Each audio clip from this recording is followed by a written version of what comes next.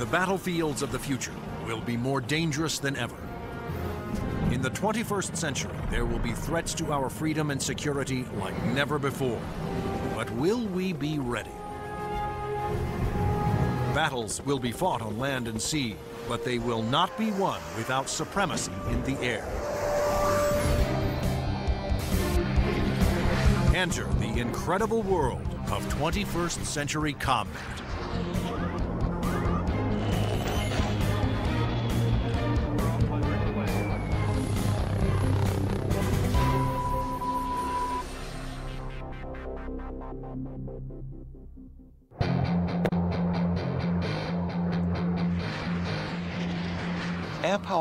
Is the dominant strategic force. It's air power that lets you influence events and respond to events quickly. It's air power that lets you fight a war without putting hundreds of thousands of people on the ground. To date, Air Force F-15s have won more than 150 dogfights against enemy fighters without a single loss. And the Navy F-18 Hornet is widely recognized as the world's best carrier-based fighter bomber. But in the future, neither the F-15 nor the F-18 will be able to survive against deadly enemy anti-aircraft missiles. Surface-to-air missiles, or SAMs, are going to represent the biggest threat. Those very formidable systems developed in Russia or China will have to be taken out of action very quickly in any future conflict. The fighter of the future will need to be stealthy to slip past enemy radar. It must be able to take out anti-aircraft installations. And it must out-dogfight any enemy fighters that get in the way.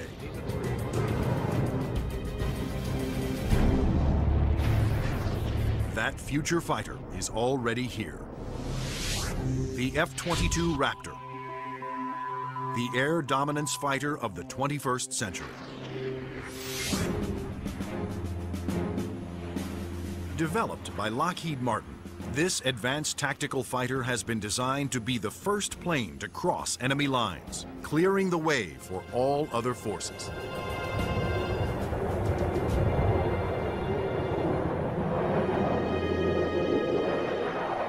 The F-22 is both an air-to-air fighter and an air-to-surface fighter, so it can drop precision weapons. That means it'll be able to go in early in a conflict, knock out all the air defenses that an enemy has, and also take out certain ground targets. And open the door for all the U.S. forces, whether they're ground vehicles or other aircraft, to come in and continue the fight. The development of the F-22 Raptor first began in 1985, when the Air Force requested proposals for an advanced tactical fighter jet to replace the F-15 air superiority fighter. Military planners feared that the F-15 would not be able to counter new air and ground threats on the horizon. The result was the creation of the F-22. The capability of the aircraft is a quantum leap above what exists right now, and it's going to take air power and revolutionize it into a, a whole new world. In the battles of the future, stealth will be critical for all new fighters to avoid being seen by enemy radar. Non-stealthy aircraft just will not survive in the uh, air battles of tomorrow. Stealth technology was created to counter advances in radar. Radar works by sending out radio waves and measuring the amount reflected back to determine the distance, speed, and course of an object. But stealth aircraft are designed with surfaces that deflect radio waves away, making them nearly invisible to radar. The world's first stealth production aircraft was the F-117 Nighthawk. The reason that airplane is faceted is a limitation of the computer technology at the time. It's easier to model a finite number of flat surfaces than it is a bunch of curved surfaces. And while the aircraft was a breakthrough at the time, the facets limited the plane aerodynamically. But now, thanks to more powerful computers, engineers can design aircraft that do not have to sacrifice aerodynamics for stealth. The FA-22's aerodynamic slickness allows it to uh, have the lowest drag of almost any aircraft ever produced. The F-22's aerodynamic superiority, combined with its stealth and firepower, make it a far better adversary than any aircraft before it. The F-15, which the F-22 will replace, has been a very successful fighter, but it is not stealthy. The F-117, while stealthy, carries no air-to-air -air weapons and is not designed for air combat. It relies on stealth and mission planning to protect itself. But the F-22, on the other hand, is not only stealthy, but comes with a full complement of air-to-air -air and air-to-ground weapons. The primary ar armament is in weapons bays underneath the airplane where we carry six medium-range radar-guided missiles. By carrying the weapons internally, it preserves the stealthy shape of the plane. For closer infighting, the F-22 has short-range missiles and guns. Behind these two doors right here is the side weapons bay. This is where we carry a heat-seeking missile.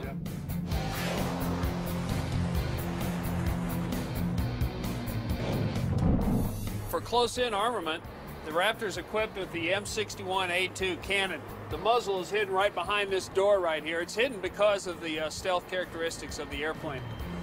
Cannon carries 480 rounds and is capable of shooting 100 rounds a second.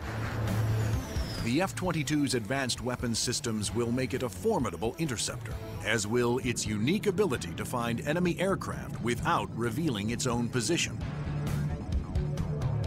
When other planes use their radar, they become visible to every other radar system in the area. But that's not the case with the F-22. Perhaps the highest tech part of the airplane is the radome itself. Not only does the radome have to be stealthy, but it has to be able to transmit and receive its own radar signals. How the F-22 radar achieves that remarkable feat is classified. But what is known is that the F-22 can see enemy aircraft at a distance while remaining invisible to them. The first time that the bad guys will really know there's an F-22 in the area is when one of them blows up. Along with its advanced radar system, F-22 is the first fighter to have super cruise, the ability to travel faster than the speed of sound without using its afterburners. A jet's afterburners boost speed by pouring fuel directly into the hot blast of the engines, adding fiery extra thrust. But afterburners are also wasteful, consuming enormous amounts of fuel, dramatically affecting the range and duration of a plane's mission. But the F-22 doesn't have that problem. Without using afterburners, it can supercruise at an incredible one and a half times the speed of sound, over 1,000 miles per hour. This is all about our pilots being able to go fast minimize the amount of time they are exposed to any threat, do the mission that we've sent them to do, turn around and come home safely. The F-22 is presently the only fighter in the world with supercruise, but it wouldn't be possible without a very unique set of engines. The goals for Pratt & Whitney were to provide a transformational engine that the Air Force needed, one that was stealthy, maintainable, and fast. The F-119 PW-100 was developed by Pratt & Whitney after years of research. It sets the new standard for jet engines. Along with its incredible supersonic ability, the F-119 incorporates thrust vectoring. Here we are at the rear end of an FA-22 Raptor. First thing you'll notice are the nozzles for the F-119 engines. In flight, during a maneuvering dogfight, they actually move up and down and vector the thrust of the engine to provide maneuverability. It helps us turn inside any foe, uh, maneuver at low or high speeds to outmaneuver another airplane or potentially an enemy weapon that's headed towards us. The F-22's stealth, supercruise, and vector thrusting are impressive breakthroughs, but its most outstanding feature may be its ability to nearly fly itself through advanced computerized controls. It relieves the pilot of all the duties, gives the pilot total freedom to just look out engaged in the combat scenario. In addition to monitoring its own performance, the F-22 constantly gathers data on other aircraft in the combat area and presents the most important information to the pilot. We're going to have information passed to us from either unmanned vehicles or from off-board sensors so that we can integrate data and use that information for targeting. And it's the way that we are driving our forces in warfare. We are much more integrated with both other services and with other platforms, and the F-22 fits right into that concept. The F-22 Raptor's total package of avionics, stealth, supercruise, and thrust vectoring make it the most technologically advanced fighter today. I've never been in an airplane that accelerates as fast, that's as agile, the ability to turn very sharply, and uh, it just brings a great combination of the, the speed, the stealth, and the avionics to the fight that nobody else is going to be able to touch. But there will be future competitors, like the Russian Sukhoi 37, which features thrust vectoring and a radical forward swept wing design. And the fifth generation MiG, the 1.22, which some have nicknamed the F-22 ski. The Russians are still very active aircraft developers. They've got a variety of technologies that they're continuing to improve upon and that can be made available to our future enemies. And so that's why we have to stay on top of the technology that we are developing and make sure that it is able to take out anything that other countries develop. When you look at the adoption by China of the Su-27 and the fact that it'll probably be modernized and improved, uh, that brings up the need for more advanced fighter aircraft in the U.S. And that's one of the main reasons, I think, why the Air Force is so insistent on the need to have the F-22. In addition to Russia, other U.S. allies are producing advanced interceptors for export that are superior to the F-15, such as Sweden's JAS-39 Gripen and France's new Rafale. Germany, Italy, and the UK have joined forces to create a Eurofighter, the Typhoon. If these planes fall into unfriendly hands, the U.S. Air Force will need the F-22 to maintain their advantage. We're always going to go into war wanting to have that air dominance, and the F-22 is going to be the big boy on the block that can help us to do that. In future combat, the F-22 is to be joined by another stealthy aircraft, the F-35 Joint Strike Fighter, the ground attack bomber of the future. Designed for the U.S. Air Force, Navy, Marines, and Britain's Royal Navy, the question is, will it work for every user?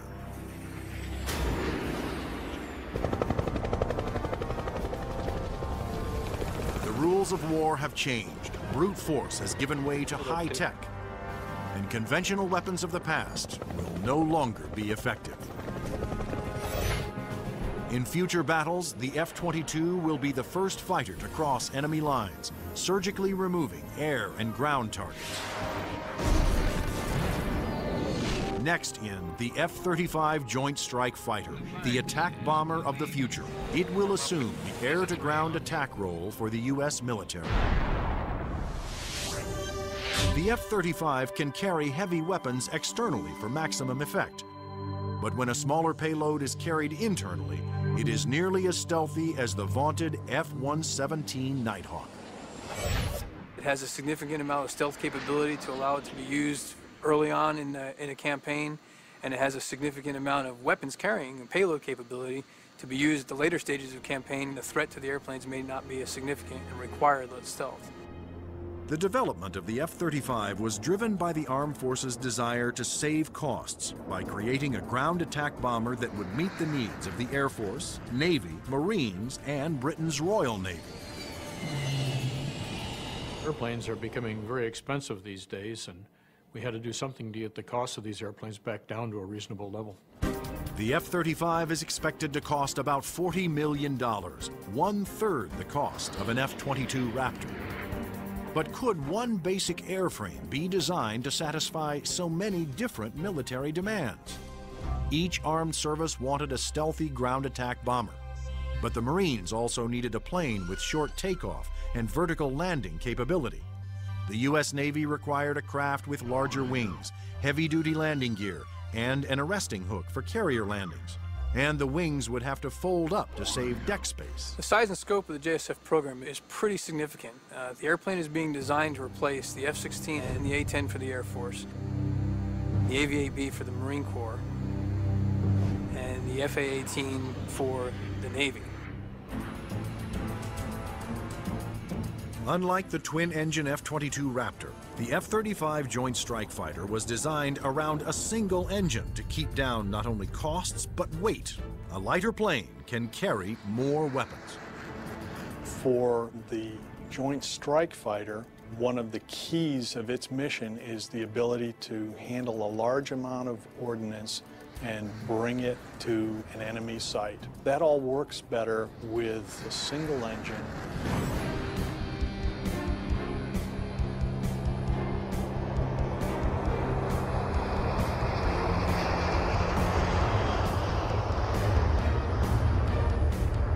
Air Force version of the Joint Strike Fighter, the F-35A, made its first flight attempt on October 24, 2000. Tom Morgenfeld, who had been a test pilot for the F-22 Raptor, was at the controls. Well, a million things are going through your mind. Your eyes are everywhere, you're listening, you're, you're watching. Uh, your senses are tuned to an incredible level because you're, you're sensing and feeling the airplane for the very first time. It flies wonderfully. It's definitely a pilot's airplane. The Air Force testing went smoothly. Next, a Navy version was built with heavy-duty landing gear and wider wings for the slow speeds needed to land on carriers. Navy test pilots flew touch and goes, demonstrating the F-35's ability to land within the space of a carrier's flight deck. But the most difficult challenge still lay ahead for the F-35 program. The Marine Corps needed a version that could perform short takeoffs and vertical landings, STOVL for short. The STOVL capability is extremely important to the Marine Corps because the airplane can go just about anywhere that the rest of the forces can go. It's not limited to needing a large runway. It doesn't need a really big ship to operate off of. Engineers at Lockheed Martin, the designers of the F-35 Joint Strike Fighter, took a hard look at the AV-8B Harrier, the STOVL fighter that the new aircraft would have to improve upon. The Harrier is a great airplane if you look at the fact that it's, it's basically 1960s technology. It's achieving all those wondrous STOVL flight sort of maneuvers without the aid of a lot of computers. The Harrier's ability to take off, hover, and land vertically is achieved by vectored thrust. The powerful force of its jet engine is directed downwards through four nozzles that can pivot 90 degrees. I was brought in because I am a Harrier pilot with almost 1,600 hours in that airplane. So all of the lessons learned I have from the Harrier airframe and operational experience I, I have, I was able to bring to the program and use those to help evaluate the X-35 STOVL version. For hovering, engineers gambled on a radical new system. They planned to supplement the vectored thrust method by harnessing the jet engine to a drive shaft that would power a fan to blast air downward. In 1991, we unveiled this shaft-driven lift fan system to the technical world. Some actually said, you gotta be kidding me. Are you guys serious? The lift fan required doors to open behind the pilot on the top and bottom of the plane to draw in more air. The fan would blast air down midship, while the jet nozzle in back swiveled, blowing its powerful exhaust down to create a balanced lift force. The shaft-driven lift fan system uh, allows you to harness a lot more energy out of what the engine is producing. But harnessing a jet engine to a drive shaft proved to be extremely difficult. The mechanical energy we were dealing with in the shaft-driven lift fan system was very large. We had 28,000 horsepower being transmitted from the drive shaft uh, from the main engine to the lift fan. And that's similar to the uh, power going through a U.S. naval destroyer. The lift fan's ability to blend large amounts of cool air with the hot jet exhaust provided another important benefit. One of the things we learned in JSF was to combine the jet exhaust to get a lower combined temperature than the Harrier. This allowed us to avoid some of the problems. Large amounts of cool air with the hot jet exhaust provided another important benefit. One of the things we learned in JSF was to combine the jet exhaust to get a lower combined temperature than the Harrier. This allowed us to avoid some of the problems with concrete where the concrete would actually burst and explode under the high temperature and high jet exhaust from the carrier. At the Lockheed Martin test facility in Palmdale, California, the revolutionary lift fan system was put to the ultimate test, in the air. If the lift fan failed during hover, the plane would crash.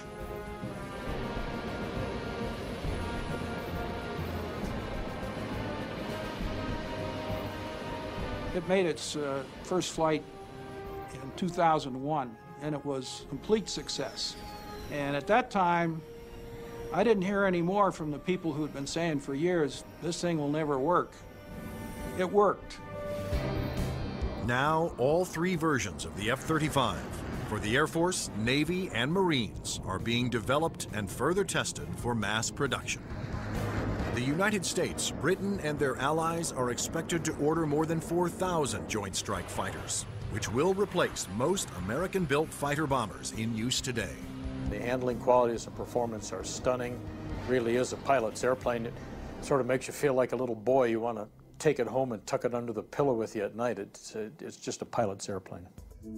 In future air conflicts, the F-22s will be used to establish air dominance. Then waves of stealthy F-35 Joint Strike Fighters will use their superior weapons-carrying abilities to attack other major ground targets. The Joint Strike Fighter is going to be the backbone airplane for hauling freight. It is going to be the muscle part of sustained forces. Commanders can also alter an F-35's mission in the air as situations change during the battle. There are a variety of ways for the F-35 to bring in information from external platforms, other airplanes flying around the battlefield, satellite-based assets, ground-based assets. All that information can be presented to the pilot in the cockpit and allow him to be more of a tactician and manage the tactics of the game that day instead of worrying about the nuances of flying the airplane. The pilot's job will be to supervise the process of identifying the target and then to give consent for weapons release.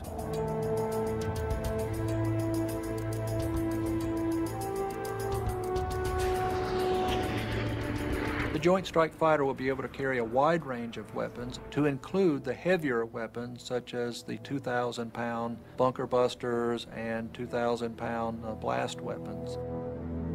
The Joint Strike Fighter's one-ton bunker busters and blast bombs will be guided to their targets with pinpoint precision by JDAM tail kits.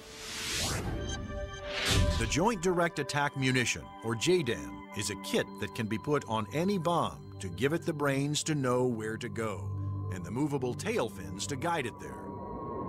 JDAM is a guidance kit that came after Desert Storm. This little round piece on the side there is an inertial navigation clock.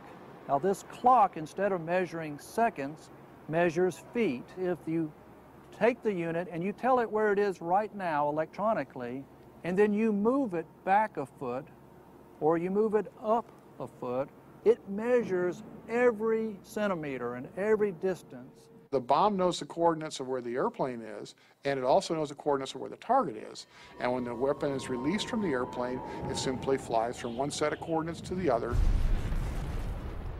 and does its thing when it gets there. Because a JDAM is directed by GPS, or Global Positioning Satellites, it can hit targets regardless of visibility. The way we use it is by employing it against targets that we cannot normally see visually, whether it is due to weather, smoke, haze, or just some sort of other thing that's obscuring the target.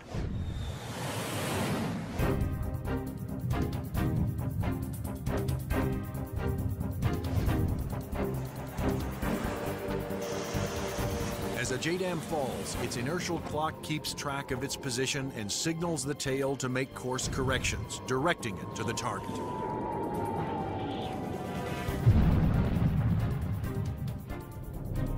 The The accuracy of new weapons like JDAMs will reduce collateral damage. It also makes the F-35 an even more formidable weapon system.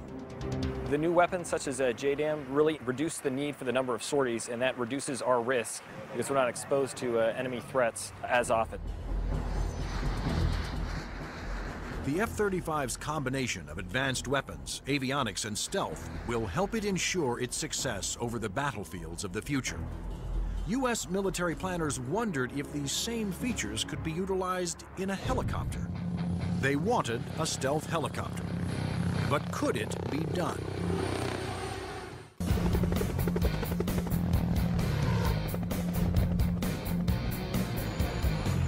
Over the last 50 years, helicopters have evolved from slow-moving multi-purpose support vehicles to fast-moving frontline attack ships. But in the high-tech wars of the future, speed alone is not enough. Information is the key. There's three elements that are critical to warfare. The ability for you to know more than the enemy, the ability to maneuver quickly uh, around an enemy and gather more information about them, and the ability to provide precision firepower at the enemy. In future conflicts, after the F-22 Raptors and the F-35 Joint Strike Fighters have cleared the way, surveillance and attack helicopters will support ground troops as they move in to secure the area. We like to be down low where the action is, and we like to be down low where the threat can't see us. But at such low altitudes, helicopters are vulnerable to a wide assortment of ground-to-air weapons. All the simple systems, the guns, unguided rockets, the surface-to-air missiles, it's got to deal with all of that, and it's got to deal all of it effectively. The Pentagon has responded with a two-pronged strategy to counter this threat. Inexpensive, expendable unmanned helicopters and stealthy manned helicopters. Unmanned helicopters will be primarily used for surveillance and for gathering targeting information. Fire Scout, designed by Northrop Grumman, was specifically developed to take off and land on Navy ships. However, the key to creating a successful manned helicopter for future combat is to make it stealthy like the F-22. But the question is, can it be done? Achieving stealth in a helicopter is different from stealth in a fixed-wing aircraft. You're concerned about different signatures, radar reflectivity, infrared, noise, all things that will give away an aircraft's position. Those signatures, like heat, smoke, and sound, put helicopters and their pilots at serious risk over the battlefield. All the small shoulder-fired missiles, which are very effective against helicopters, are heat-seeking infrared systems. The challenge for engineers was to create a quiet helicopter with very few signatures and a small radar cross-section. And that's exactly what Sikorsky has done with the new RAH-66 Comanche. In the Comanche, with all the stealth capabilities, we can defeat the radar threat. We can defeat the guy with the shoulder-launched heat-seeking missile. And from the guy popping up in the tree, our agility defeats him. Our small size, our quiet acoustic signature defeats him. Often the first thing you hear from a helicopter is the sound of the wake from the main rotor hitting the wake from the tail rotor. In the Comanche, the fan tail is shrouded, so there is no interaction between the fan blade tips and the main rotor tips, and it's also canted slightly. And those all contribute to reducing the acoustic signature. Engineers also experimented with the main rotor to find a quieter design. If you look at a Comanche, it's got a five-blade rotor, and what that does is it uh, cuts down the normal chop, chop, chop sound from a helicopter into a more discreet whir that kind of blends into the background. Reducing the heat signature of a helicopter is also essential to making it more survivable. When you look at a Comanche, uh, the first thing you ask yourself is, where's the exhaust? Where does all this hot air get out of the engine? The Comanche's exhaust actually escapes through the tail boom, where it is instantly dispersed by cool air from the rotor. That missile has to have something to home in on, and that's a heat signature. Comanche defeats that by the engine exhaust being mixed with ambient air and cooling it so that there's no longer a heat plume for that missile to home in on. To defeat radar, the Comanche utilized the stealth secrets first developed for the F-117 Nighthawk. There are no radar reflecting right angles on its outer fuselage, and all weapons are carried internally to help keep its stealthy shape. What's interesting about the helicopter is some of the things that achieve stealth actually make the helicopter better. Things like the retractable landing gear and the retractable weapons bays, that also makes it sleeker and faster. So once you've bought into the stealth part of it, you get other superior attributes. The main role of the Comanche is to give commanders an overview of the battlefield by providing up-to-the-minute information. Comanche is going to be basically their flying cavalryman. It's going to dart in and out, slash and cut, be a reconnaissance vehicle. As Comanche's two pilots gather data, their computer shares that data with other Allied forces. When the Comanche finds the enemy, he's going to kind of direct like a quarterback to apply the firepower to defeat that enemy.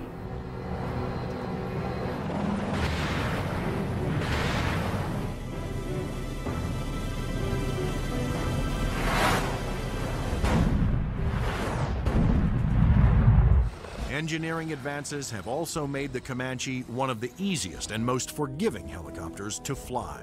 One thing that Comanche brings that other previous generation helicopters can't bring to the table is the pilot can maneuver the Comanche in virtually any axis without fear of exceeding any limits.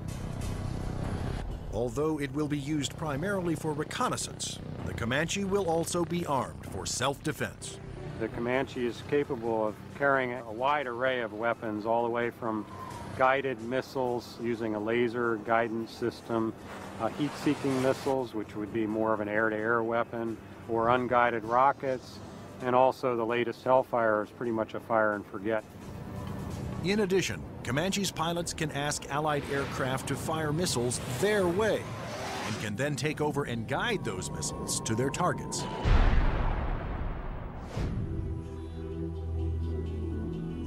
If the Comanche is hit, its computer system can often fix itself by reassigning vital functions to undamaged computer cards. This is where the computer brain of the Comanche is.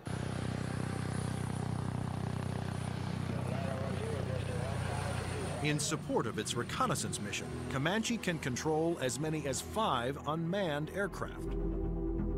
When the Comanche may be employed, it may have little vehicles that it launches out, so it has its own little eyes over the hill so it can see what's going on without putting itself at risk.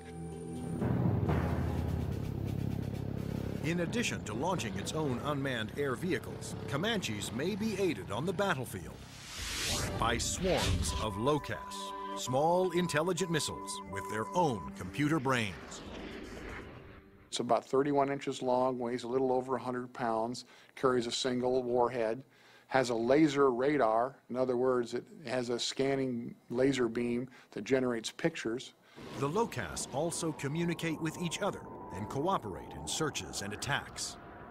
You could have a swarm of LOCAASes, each of which has its own eyes, each of which is thinking, but each of which is communicating with each other send that imagery back to the operators who could either use these as surveillance probes or, in fact, as weapons themselves. Weapons like LOCAAS reflect the trend toward electronically linking all Allied forces and weapons so that information can be shared and used by all. By networking aircraft over the battlefield, with surveillance platforms and other weapons systems, commanders can quickly change missions to take advantage of up-to-the-minute information. The key to the air battle of the future is not necessarily stealth, speed, or firepower. It's going to be information. Unmanned air vehicles, or UAVs, will provide a large part of that information while flying long-duration surveillance missions. So, will the Air Force of the future have no pilots? Since the very first use of airplanes in war, military planners have looked for ways to make aircraft more effective. and more lethal. Once so secret their very existence was denied by the government, unmanned air combat vehicles, or UCAVs, are now poised to take the preeminent role in 21st century air combat.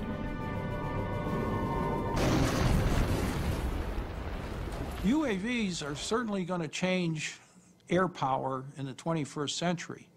You can see it starting to happen today, but what we're looking at now is just the beginning because there's going to be more of them and they're going to be better. Unmanned aerial vehicles allow the military to do more with less, to put more aircraft into the air than you otherwise would be able to because of the limited number of pilots that you might have, or where it might be too risky.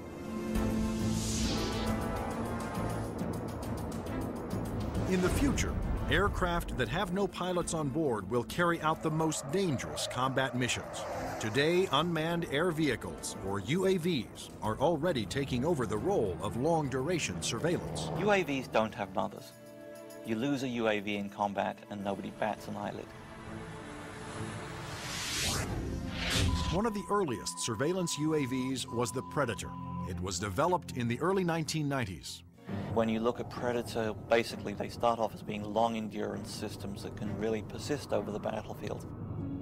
In Afghanistan, Predators provided critical real-time intelligence. And it was there that a Predator made an amazing transformation from surveillance to armed aerial attack. Fired a Hellfire missile an Al Qaeda convoy and destroyed one of the vehicles in there. And at that point, it crossed the line from an unmanned aerial vehicle into an unmanned combat aerial vehicle. Today, the new Predator B can carry up to 10 Hellfire missiles. Of course, its primary mission is still what the military refers to as ISR, or Information, Surveillance, and Reconnaissance. It's basically a poor man's satellite. I mean, you can bring it in and, and, and let it dwell in an area.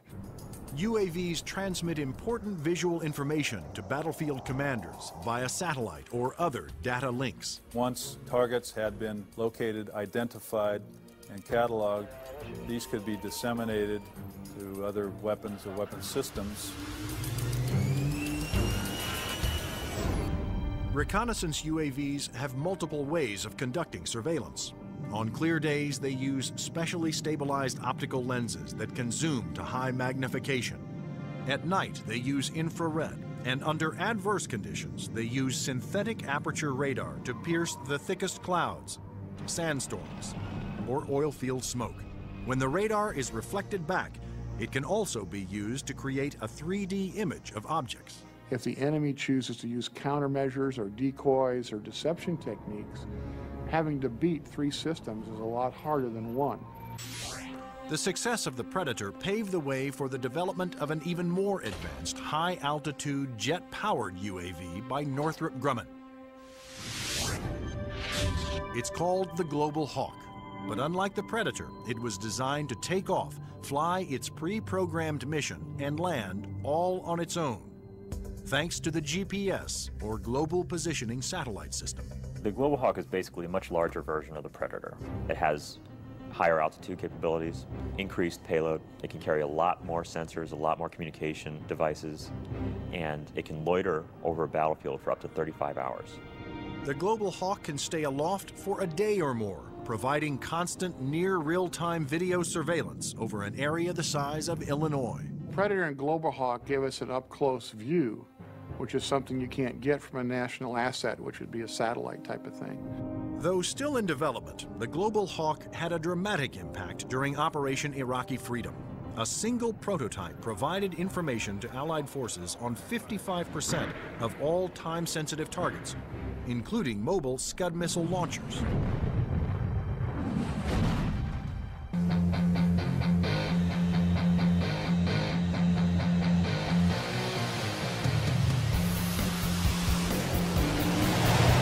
Air Force, the Navy wanted its own autonomous UAVs. However, designing one to take off and land on an aircraft carrier was a tremendous challenge.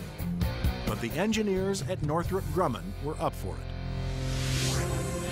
In the summer of 2000, they began working on the X-47 Pegasus.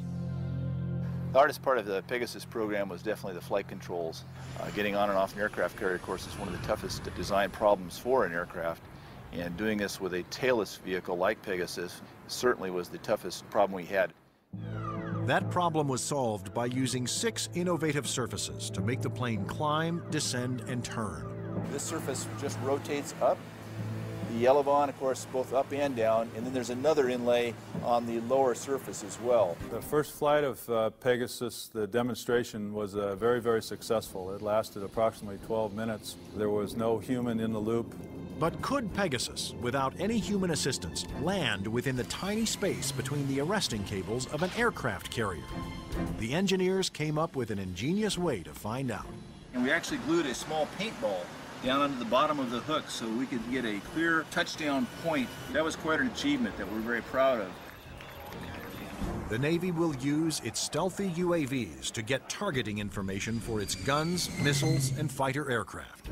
The initial focus has been on information, surveillance, and reconnaissance to provide targeting information to the Navy's strike packages.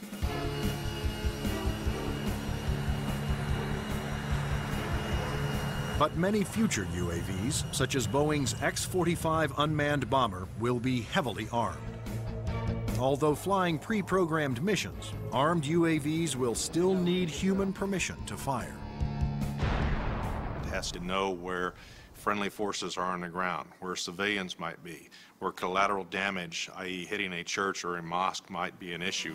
So there is a element that we always retain where a human in the loop is important. You can have a weapon that's doing its own surveillance and has its own ability to engage a target. And that gives you a level of dominance that uh, we're just emerging on right now. In the not-so-distant future, there will be even more radical aircraft and airborne weapons systems. Everything from electromagnetic pulse weapons to powerful airborne lasers to hypersonic aircraft that can fly to anywhere in the world in two hours or less. But how soon will these high-tech secrets become a reality?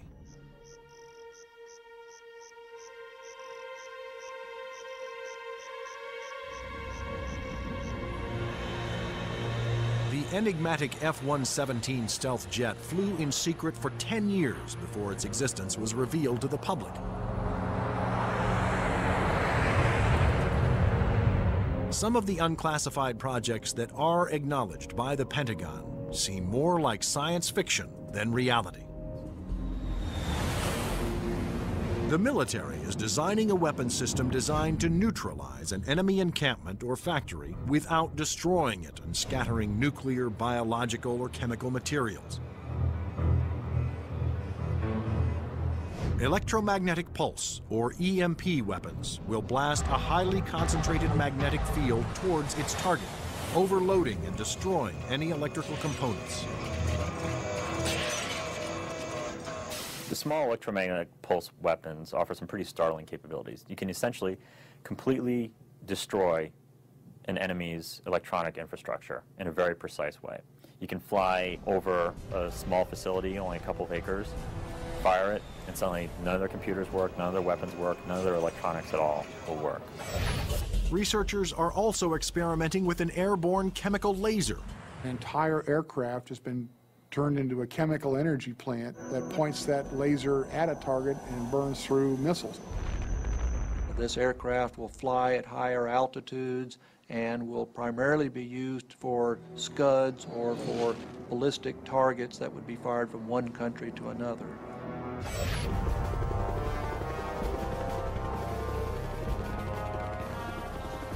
American generals don't want a fair fight. They want their equipment to be the absolute best in the world so that whatever they come up against, they can defeat it quickly and efficiently. The battlefield of the future will continue to be a dangerous place. But military planners believe that the key